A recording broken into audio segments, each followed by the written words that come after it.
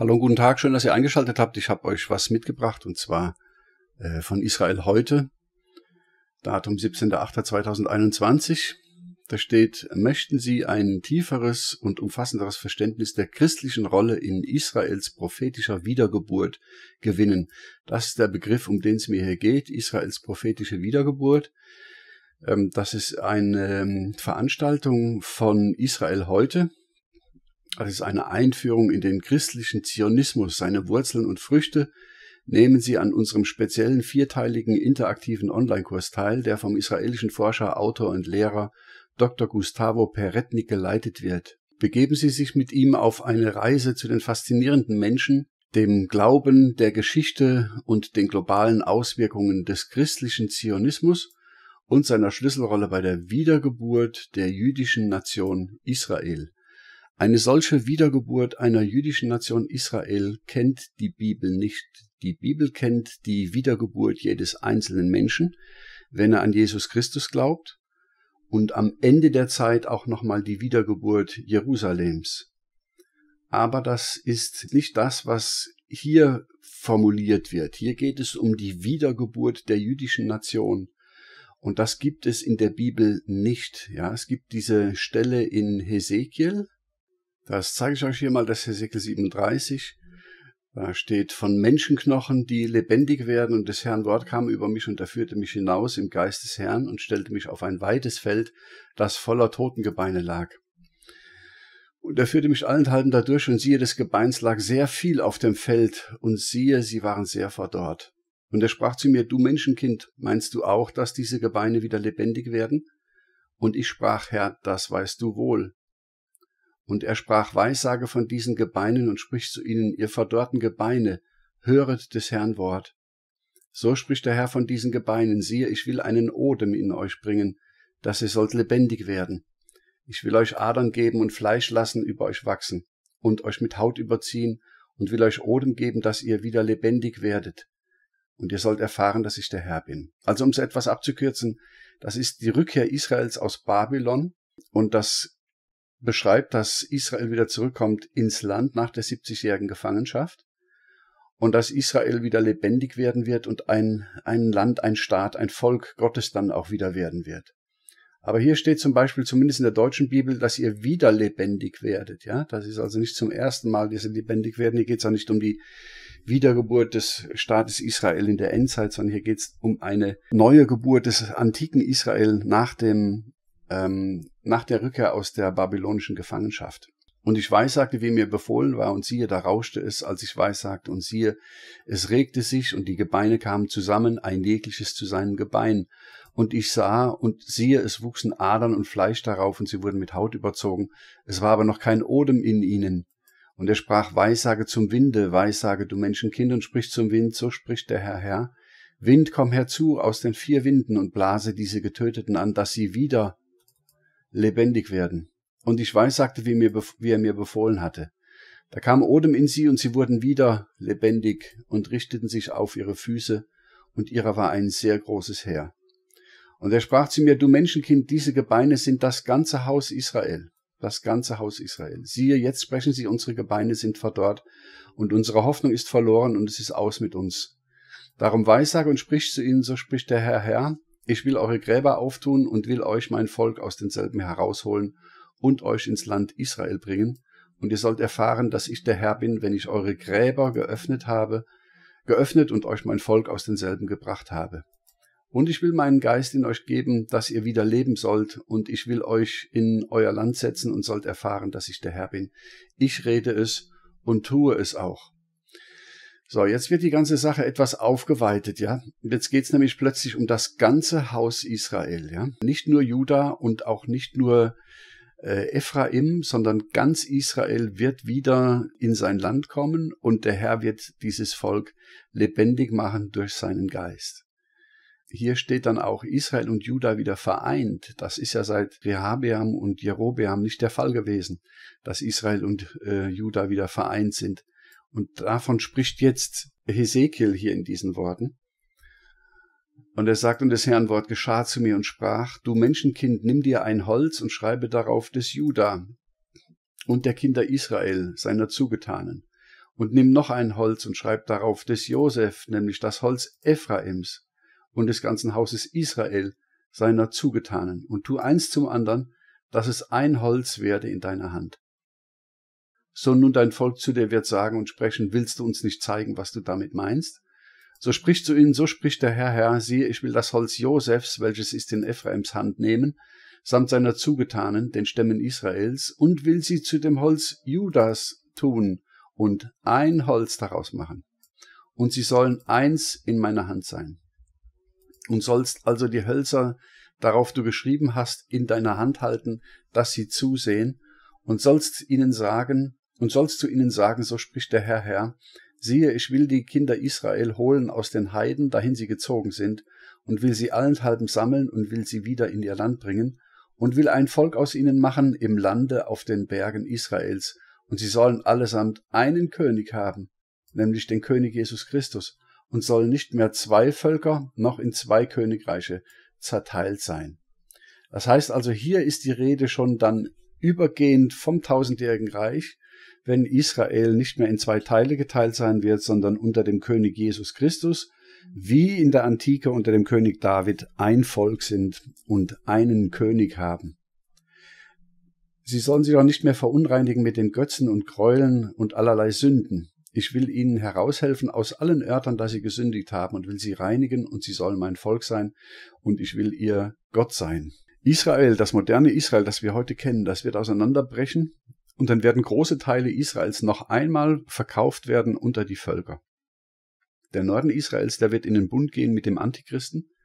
Das ist symbolisiert im Standbild Daniels durch den Ton, der vermischt ist mit dem Eisen, Eisen für den Antichristen und sein seleukidisch-syrisches Reich und Ton, ein Bild auf Israel, weich, formbar, schwach, das sich mit dem Antichrist in den Bund begibt. Beide werden Juda und Jerusalem angreifen und werden auch einige von den Juden nochmal verkaufen an die Griechen. So steht in Sacharja oder Joel, müsste ich jetzt nachschauen. Das heißt, Israel wird noch einmal unter die Völker zerstreut werden und zerschlagen werden. Und diese Rückführung Israels aus der babylonischen Gefangenschaft, die verwendet Hesekiel als Ausgangspunkt, um dann seine Prophetie, die er von Gott erhält, bis in die letzte Zeit zu führen, bis ins Königreich Jesu Christi im tausendjährigen Reich, wenn Israel nach der Entrückung der Gemeinde und zu Beginn des tausendjährigen Reichs aus allen Völkern gesammelt werden wird und dann unter einen König versammelt werden wird, ja. Und das, was wir hier oben haben, äh, dass diese Menschenknochen wieder lebendig werden, die auf dem Feld lagen, ja, ähm, und dass sie äh, praktisch durch Gottes Odem und Geist wieder lebendig werden. Das ist ein Bild zunächst einmal ausgehend von der Rückführung Israels aus Babylon und dann hinführend mit einem weiten Blick in die Zukunft die Sammlung Israels in der Endzeit nach der Entrückung zu Beginn des tausendjährigen Reichs, wenn die ganzen Juden, die sich gegenseitig verkauft haben an die Heiden, wieder zusammengesammelt werden, in Israel zusammenkommen werden und ein Volk sein werden. Ein Volk Gottes fürs tausendjährige Reich, Gottes irdisches Volk im tausendjährigen Reich. Israel ist heute nicht Gottes Volk, Gottes Volk ist heute ein himmlisches Volk, weil Gott einen himmlischen Hohenpriester gegeben hat und Gottes Volk heute sind die Christen. Alle, die an Jesus Christus glauben, das ist Gottes Volk. Alle, die wiedergeboren sind, das ist Gottes Volk. Nicht die Juden sind Gottes Volk. Ja, die waren Gottes Volk. Israel war Gottes Volk im Alten Testament. Und Israel wird nach heftiger Läuterung, Reinigung und, und ähm, schwierigen Zeiten in der Endzeit wird Israel auch wieder Gottes Volk werden, aber Gottes irdisches Volk, ja, im tausendjährigen Reich unter der Königsherrschaft Jesu Christi. Und davon spricht hier Hesekiel, ja, dass sie allesamt äh, einen König haben sollen.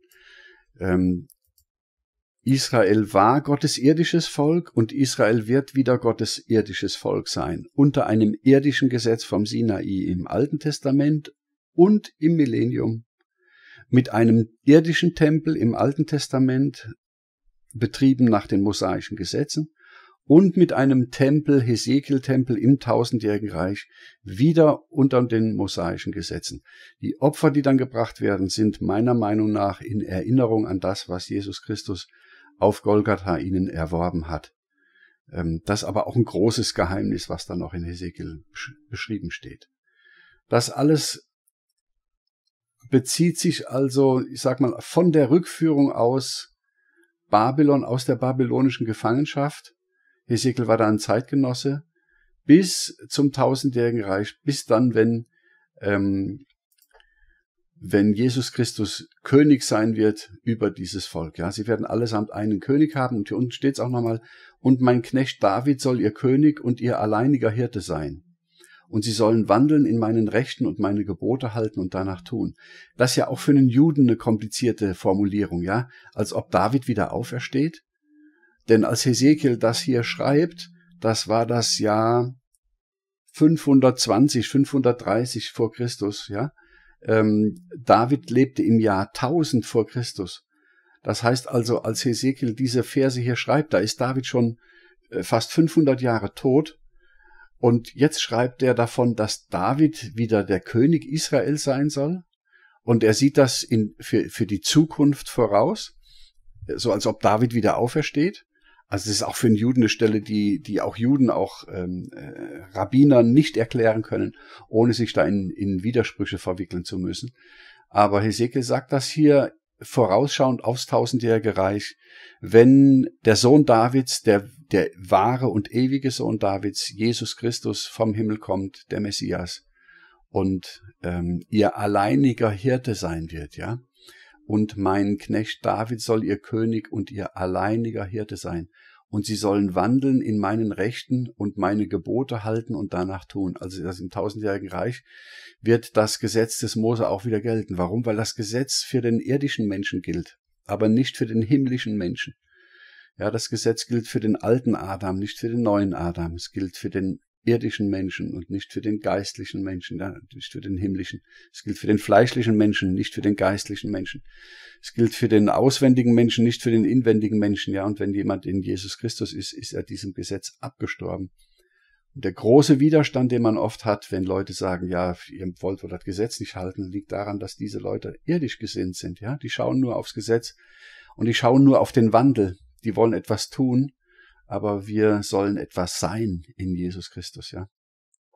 Also das hier spricht vom irdischen Volk Israel, was nach der Entrückung, nach der Wiederkunft Jesu Christi in Macht und Herrlichkeit zu Beginn des tausendjährigen Reichs gesammelt wird aus allen Völkern, und sie sollen wieder in dem Land wohnen, das ich meinem Knecht Jakob gegeben habe, darin eure Väter gewohnt haben, sie und ihre Kinder und Kindeskinder, sollen darin wohnen ewiglich und mein Knecht David soll ewiglich ihr Fürst sein. Ja, also auch hier wieder dieser Bezug auf David. Und ich will mit ihnen einen Bund des Friedens machen, das soll ein ewiger Bund sein mit ihnen und will sie erhalten und mehren, und mein Heiligtum soll unter ihnen sein ewiglich. Und ich will unter ihnen wohnen und will ihr Gott sein, und sie sollen mein Volk sein. Gottes irdisches Volk, ja, im tausendjährigen Reich, unter Gottes Herrschaft und unter der Herrschaft des Knechtes David, ja. Ähm, ich will unter ihnen wohnen und will ihr Gott sein und sie sollen mein Volk sein, dass auch die Heiden sollen erfahren, dass ich der Herr bin, der Israel heilig macht, wenn mein Heiligtum ewiglich unter ihnen sein wird. Das ist das, was wir in Hesekiel sehen. Heute ist Israel natürlich auch zurückgekommen aus allen Nationen wieder ins Land Israel.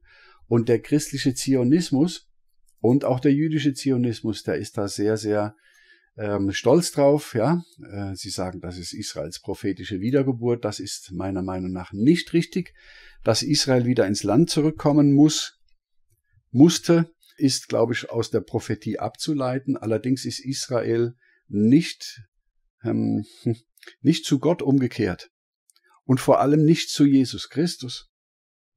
Israel ist also ohne Buße und ohne Umkehr zurückgekehrt ins Land. Bei der babylonischen Gefangenschaft war das anders. Da ist das Volk in tiefer Buße gewesen und ist dann zurückgegangen nach Israel.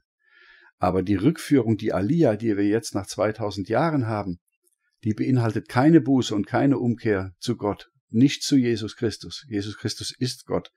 Deswegen ist Israel auch nicht Gottes Volk. Wenn Israel Gottes Volk wäre, dann wäre Israel auch das, das Volk Jesu Christi, weil Jesus Gott ist. Weil Israel Jesus aber nicht will, deswegen ist Israel auch nicht das Volk Gottes. Ähm, Israel wird gesammelt, ja, das ist so, ähm, aber Israel wird zum Gericht gesammelt. Das wissen eigentlich auch alle Christen. Deswegen, wenn sie ein bisschen nachdenken würden, würden sie verstehen, dass der christliche Zionismus zumindest in manchen Ausprägungen äh, der Bibel total widerspricht, denn alle Christen, alle evangelikalen Christen, die sich ein bisschen mit dem Thema beschäftigen, wissen, dass zwei Drittel Israels für die Endzeit vorhergesagt sind, dass die ums Leben kommen und der Rest nochmal geläutert wird und nochmal durchs Feuer geht und nochmal dezimiert wird. Also das sind alles Punkte, die man berücksichtigen muss, wenn man sich mit dem christlichen Zionismus angefreundet hat oder damit liebäugelt. Es gibt keine prophetische Wiedergeburt Israels. Es gibt eine Wiedergeburt jedes Einzelnen, der an Jesus Christus glaubt, der ist wiedergeboren. Und um vielleicht das auch noch zu ergänzen, viele sagen, dass der Staat Israel ja menschengemacht ist, dass der Lord Rothschild ähm, den mehr oder weniger durch Ränkespiele in Verbindung mit dem Ersten Weltkrieg, will ich jetzt nicht darauf eingehen, den Engländern abgepresst hat und durchgesetzt hat und mit viel Geld möglich gemacht hat.